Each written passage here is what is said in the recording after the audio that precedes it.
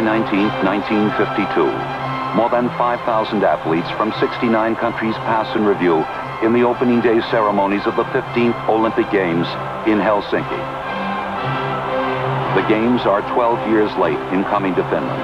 Helsinki was originally scheduled to play host to the Olympic Games in 1940, but the Games were canceled because of World War II.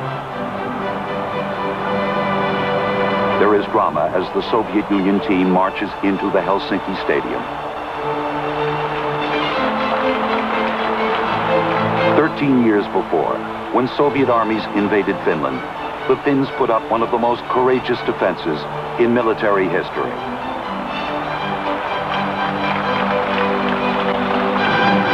The Soviet team is greeted politely by the crowd.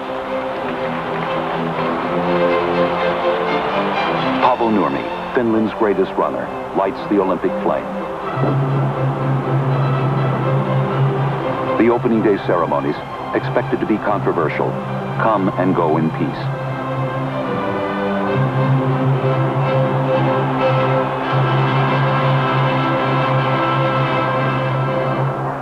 July 21st, 1952, the final of the 100-meter dash. Two Americans make it to the six-man final, Dean Smith and Lindy Remigino. Neither is given much of a chance to win the gold medal. The favorites in the race are Herb McKenley of Jamaica and McDonald Bailey of Great Britain. Bailey and McKenley each have won all their preliminary and semifinal heats.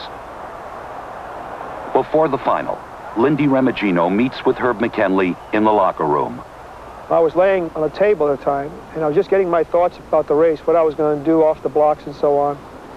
Get out in front of Herb. When Herb walked in himself, and uh, he's a very jolly fellow. He's a very, very happy-go-lucky. And he said, you know, Lindy, uh, McDonald Bailey's ready to be had. He's so nervous. I think we got him out of the way. And he kind of perked me up because I was, I was more or less just concentrating about my race, and in, in comes Herb and perks me up. McKenley and Remigino are beside each other in lanes two and three from the inside.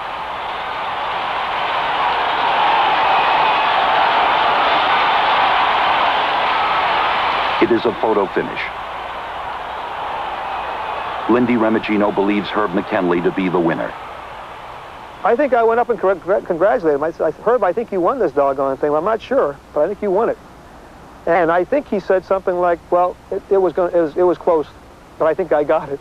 Remigino came over and held me and says, nice going, Herb, nice going.